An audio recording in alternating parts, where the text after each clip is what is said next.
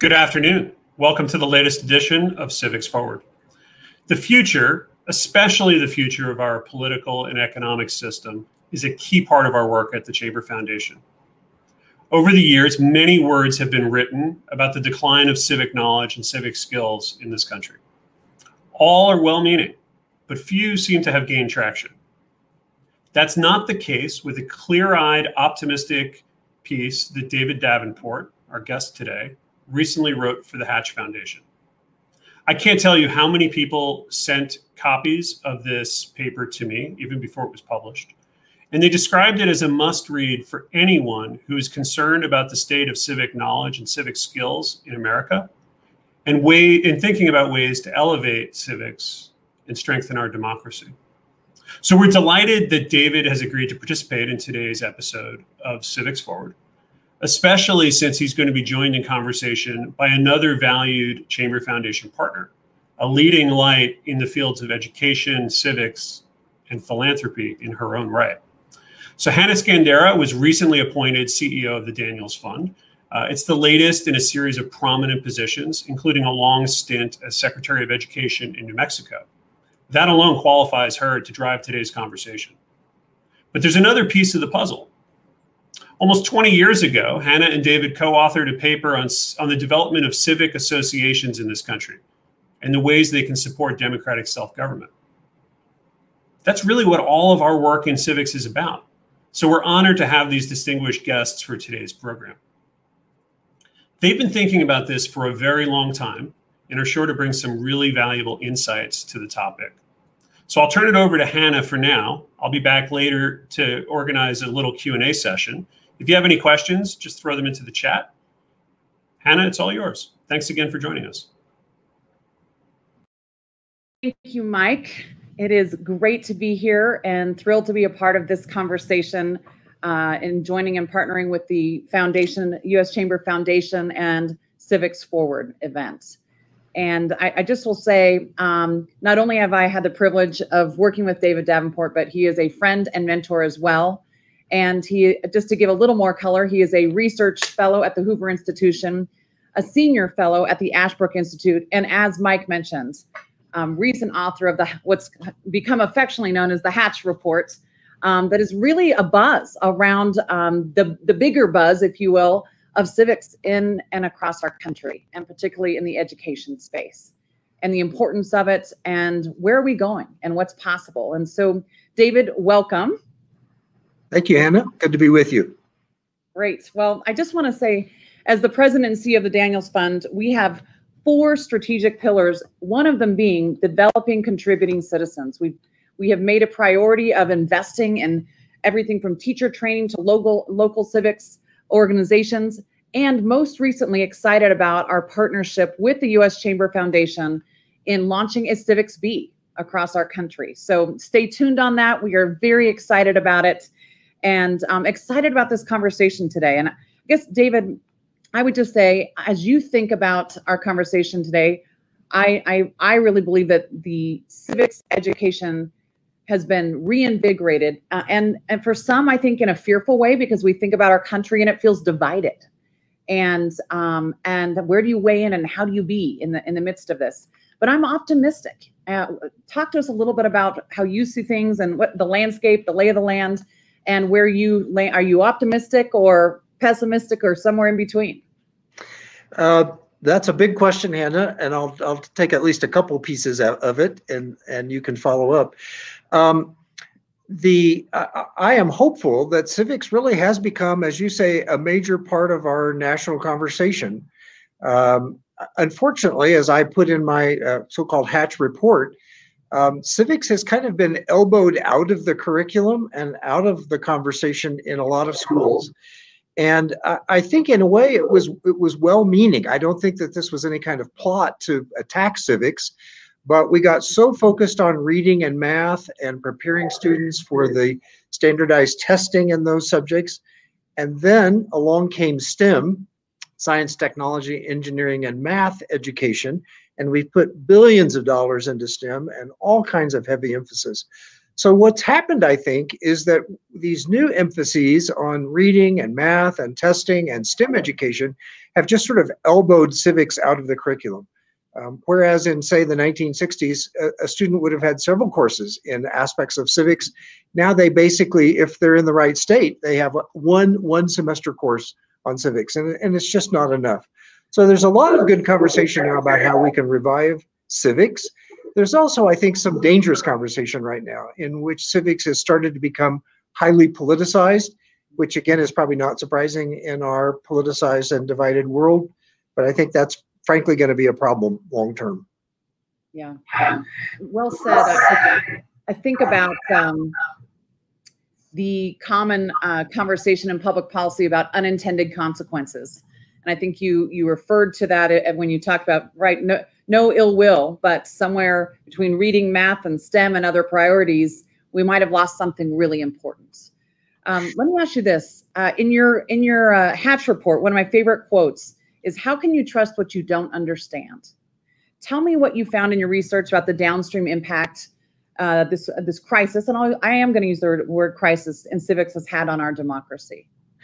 Yeah, that's. Uh, I think that's the uh, one of the important points that I developed in the report is that a lot of our civic problems, which people are increasingly recognizing, could be addressed by better civic education.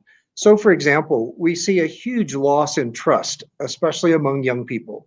Trust in institutions, including government, trust in leaders, business, government, media, beyond.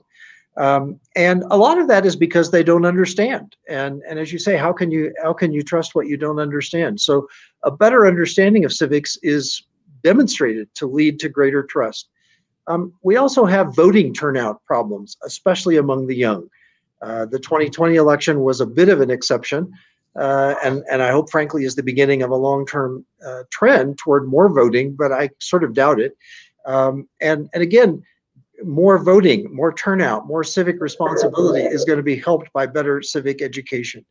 Um, we see a lot of the debates in policy today. Again, you know, you see young people, for example, saying, we would like to have socialism. Well, when you get to the bottom of that, they don't really understand what socialism is. And, and there, there's some things they do want, but it's really not socialism. So lack of civic knowledge leads to a lot of misunderstanding, a lot of skewed debates. So a, a number of the problems that we're experiencing in our democracy could be greatly helped by better civic education. Terrific. I mentioned uh, earlier that uh, Daniels Fund is uh, doubling down on on their commitment because of Bill Daniels' commitment to preparing and developing contributing citizens, whether that's through scholarship or through education at the K-12 level. Um, as you think about um, a better civics education. What does that mean? What what what uh, cast a vision and what you know we're here with the U.S. Chamber of Commerce Foundation and uh, obviously business leaders across the country and right. thinking about this. What does this a better civics education look like? What are the what are the layers of this cake, if you will? Well, uh, you've borrowed a term from our report, as you probably well know. My father was a baker, and so I, I use this this term uh, layer cake. Um, we we we need to have civic education begin in the elementary grades. Uh, we essentially have now no civic education taking place in the elementary grades and almost none in middle school. And as I said, you you kind of wait till your junior or senior year and you have a single one semester course. Well, it's kind of too late by then. You, you know, the, the students don't have a vocabulary. They don't have a core understanding of the concepts to really appreciate and benefit from that one course. So the first thing we need to do, I think, is start building the layer cake in elementary school and giving kids what they can learn. And there's quite a bit they can learn in elementary school. Certainly I did in, in my schooling in Kansas in the 50s and 60s. We had lots of learning about civics and about history that were very helpful. Uh, and then we continue to add things that are grade appropriate. So by the time they get to high school, uh, they have a good grounding for taking their civics course.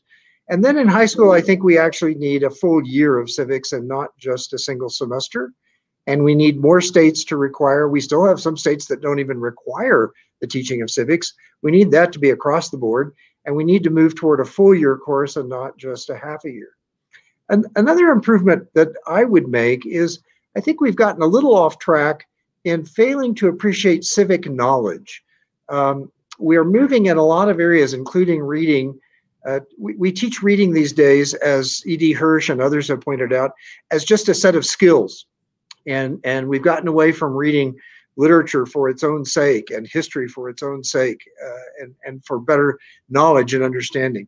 So we need to be sure that we're not just teaching civic skills or, you know, how does government work? What buttons do you push to get things done? But we need to have some, be teaching a deeper understanding and deeper civic knowledge, if you will.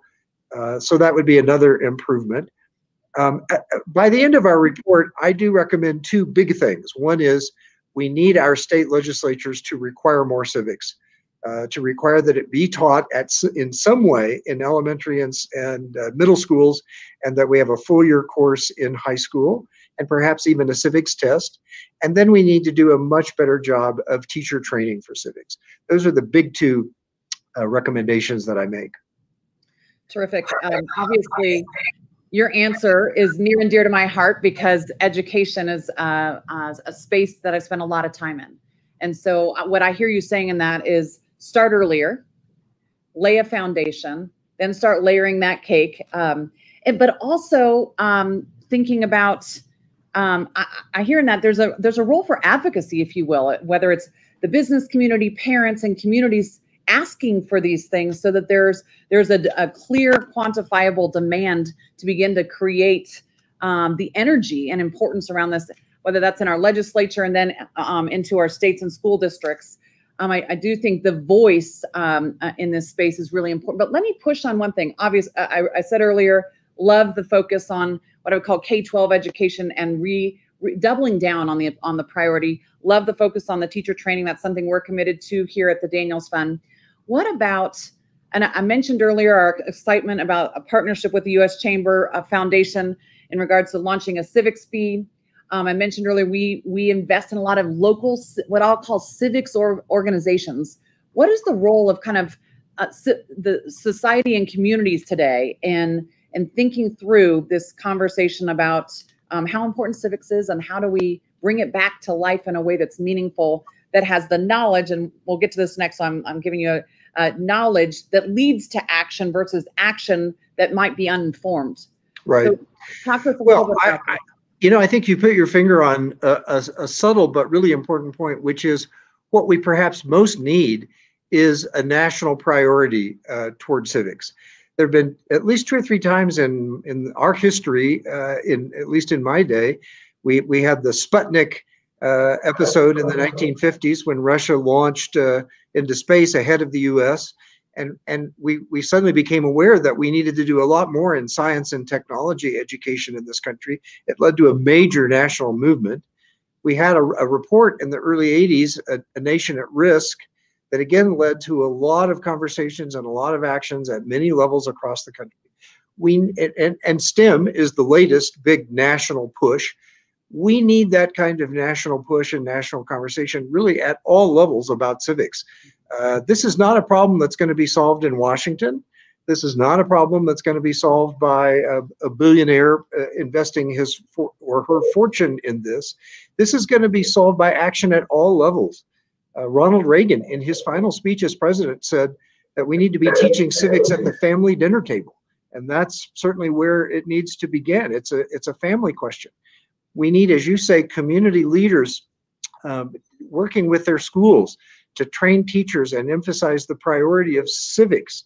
Uh, your idea of a civics bee with the Chamber Foundation is, I think, brilliant. Uh, having done debate myself during school, I learned so much by participating actively in learning things in that way. So a civics bee, I think, is a great idea to draw more attention to the field and get kids excited about civics. Uh, and so we, we need action at all kinds of levels the local level, business level, family level. Uh, that's the good news. That's the reason to be optimistic, I think, is that there are lots of ways that people can be involved in improving civics. That's great.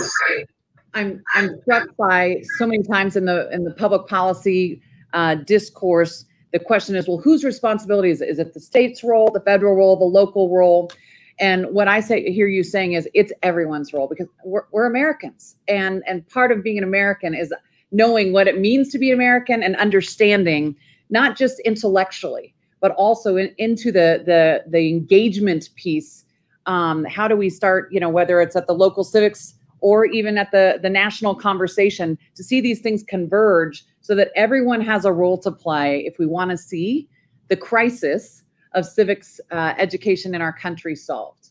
Right. This is, uh, you know, Ronald Reagan. It, would be worth people going back and reading his farewell address, and this is kind of what he emphasized that that we need to be uh, passing on to the next generation not only knowledge and understanding, but love of country. And in my personal opinion, that's one of the ultimate goals of civic education is to empower kids to to know and understand and love their country and make a contribution to it. And uh, so, a national movement in that direction that involves families, nonprofits, churches, businesses, uh, legis- state legislators, uh, uh, even in Washington. I mean, there's just lots of ways that we could really stir up a major national push along the lines of science and, and technology and reading that we've had for the last few decades. Terrific. I'm um, and maybe uh, you know sometimes we, we don't like to talk about these things, but at, at the top of the, the beginning of the, our our conversation and and Mike brought this up, you know, there's some things that have become political that really ought to be just what it means to be American. And, right. and with the politicizing and the polarization, there's fear of engaging. And um, I think one of the opportunities we all have is to humbly enter this space and trying to tear down the, down those barriers that um, shouldn't exist if we really want to see uh, right. this this opportunity emerge in a way that's meaningful that everyone owns, not a single entity or or as you said, a funder or or a government space, but everyone owns. Um, and that's where the success will come and the the the memory of our identity, if you will, as Americans. Is am I am I hearing you right on that? Yeah, I'm I'm a bit of a pragmatic uh, person, and so I'm much more interested in seeing us make progress uh, than I am in politicizing or winning some kind of debate in civics education. Unfortunately, um, every, you know, the, the writer Thomas Mann said, everything is politics. Well, that may well describe our day. And, and so civics and history have unfortunately also fallen into that uh, pit, if you will, of becoming political.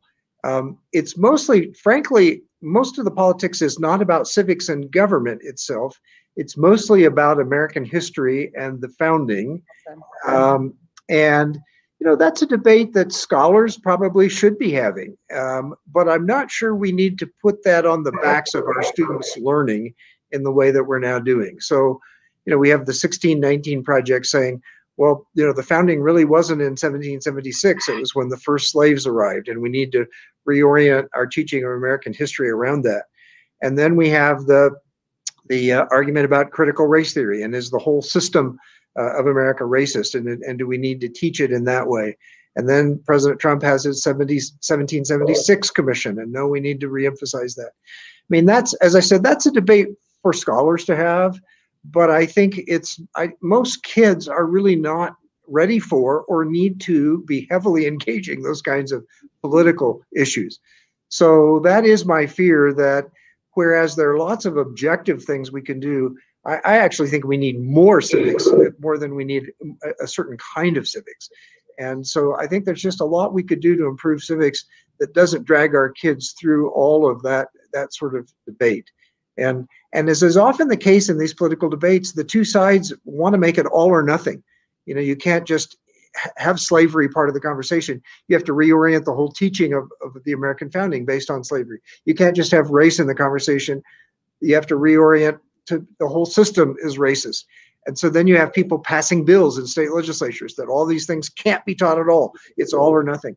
So even the debate that we're having about that, in my view, is not terribly useful. But in an era where everything is politics, I guess I shouldn't be surprised that, that politics has raised its head in this arena as well. Well, thank you for that, David. And, um, I've enjoyed this conversation. We're going to open it up for for questions um, from our our audience. I, I guess um, in summary, you've got a book. I know you're co-authoring a book that's coming out this next year. And my my push to myself and all those who are here is how do we take the, the most simple opportunities to engage and advocate for um, our country, if you will, um, and its prosperity and with the uh, civics as a, an important part of our foundation. And so we'll look forward to seeing your book out. And we appreciate um, your your um, your insight into this space. And we'll turn it back over to Mike for audience Q and A.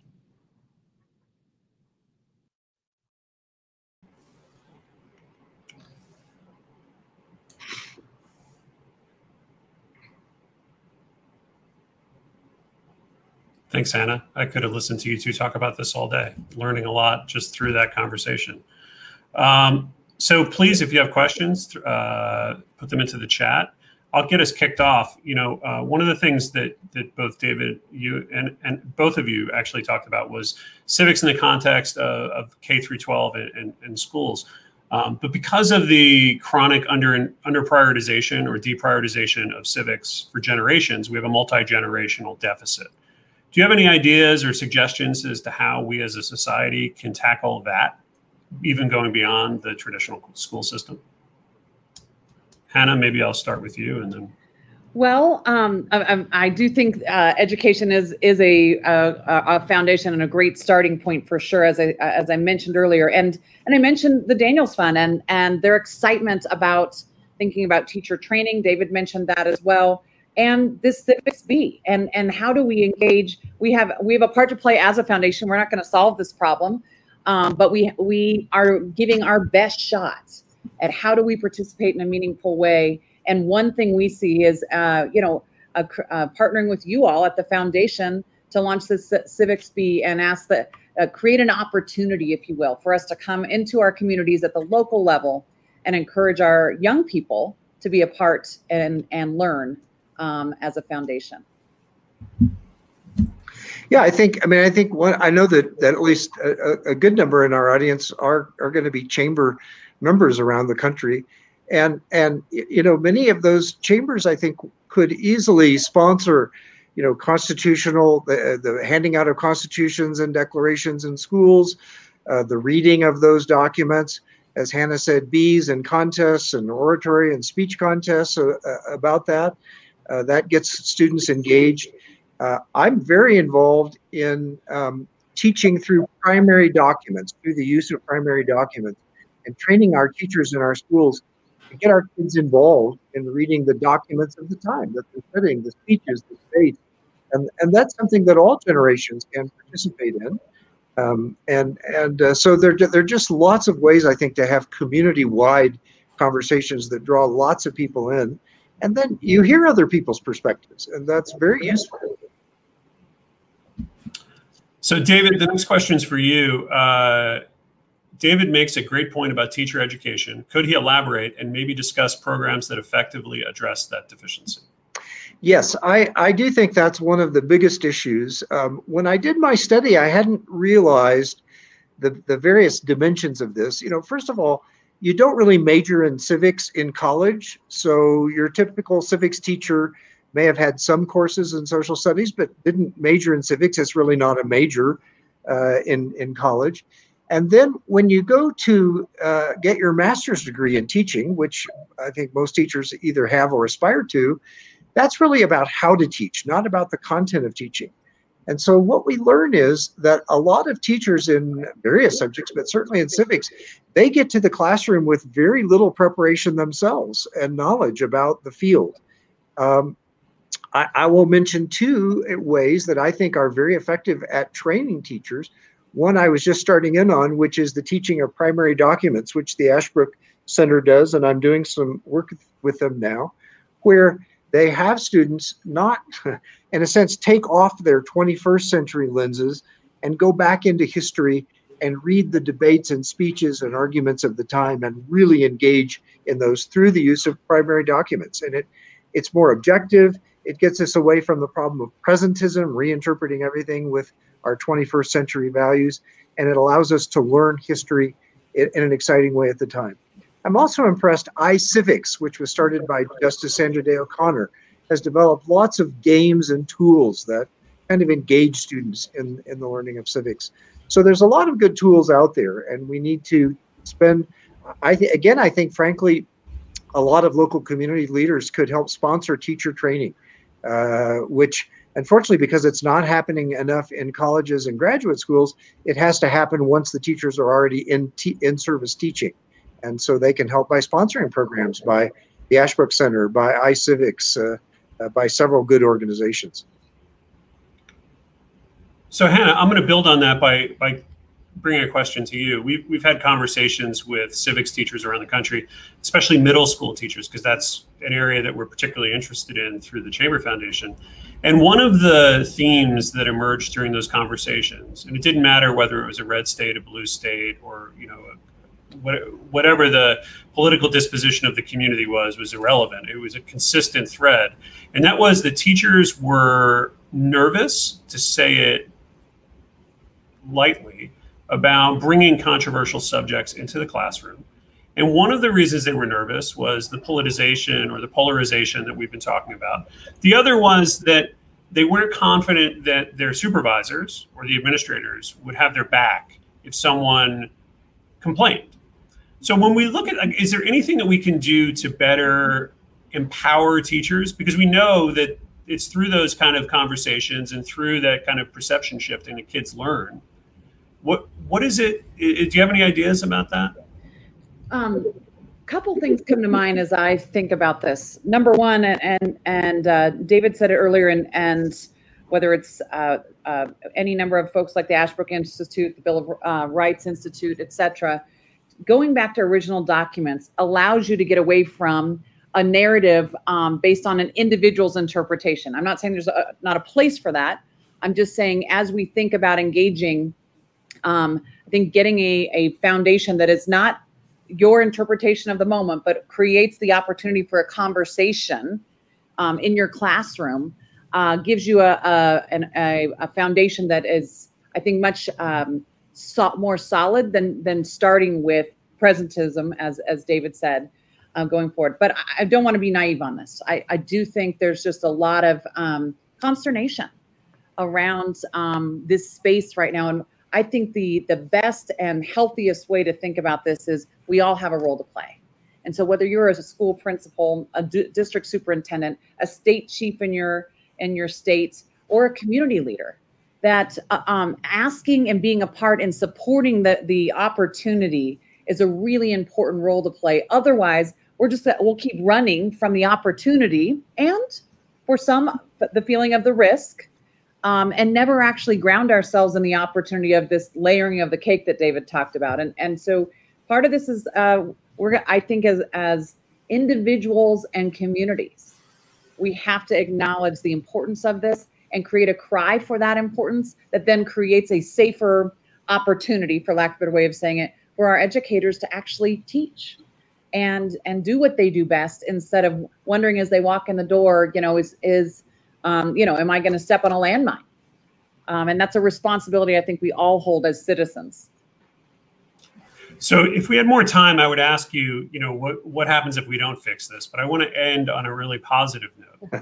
when when you look at the landscape of, of where we are today, when you look at where we are today and where you think we might be going tomorrow, what gives you the greatest amount of optimism about the future of civics in America? And maybe we'll start with you, David, and well, I think um, actually, I I think the fact that we now have people from both the left and the right engaged in the conversation is a reason to be optimistic. On one hand, it makes the conversations more challenging, but on the other hand, historically, people on the right, more conservative people, have had more focus on civics, and I would say it's actually a very positive sign that also people on the left who are worried about our democracy have kind of entered the conversation in a new way. So to me, that's the sign of optimism. The second sign is the one I mentioned earlier, which is we don't need Washington or a billionaire to fix this. We can all be engaged in fixing it. So I can wake up tomorrow and do something about it, and I can be part of the improvement uh, that we need. And to me, that's a second reason for optimism.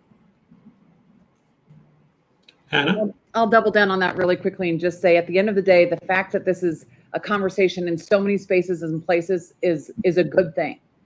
And um, if, if we're not talking about it and no and no one's talking about it, how do you get to it, so to speak? And how do you say what's the problem we're trying to solve and, and actually create a pathway to that. And then secondly, you know, on so many public policy and education issues, it's easy to relegate and say, well, that's not my issue. That's not my problem. Uh, and as David said, this is everyone's opportunity. It is all of our opportunities to, whether at the incredible grassroots level at the dinner table, in your home at night, whether it's in your classroom, whether it's in the opportunity to take your kids to a civics bee and participate and be prepared, um, whether it's in in our districts and creating opportunities for our teachers to to actually teach. Um, and I, I could go down the list. There's there's no space and place or person, in my opinion, that this does not apply to and present an opportunity. And when I think about why I am uh, proud to be an American, it is because it, we are grounded and founded in each one of us having a responsibility. And here we are with that uh, uh responsibility and opportunity today. Well, I think I asked the right question at the end. Uh, that's a really good way for us to wrap up this conversation. Uh, many thanks to Hanna and to David for for joining this episode of Civics Forward, and to you in the audience for taking the time out of your busy day to join us on this this kind of excursion into one of the most important issues that America faces. Uh, we hope you'll join us again for future episodes of Civics Forward. Uh, as you just heard, we can all be engaged in fixing this. So thank you for joining us. You can learn more about the U.S. Chamber Foundation and our work at uschamberfoundation.org. Uh, in the meantime, please have a great day, be well, and thank you again for joining us.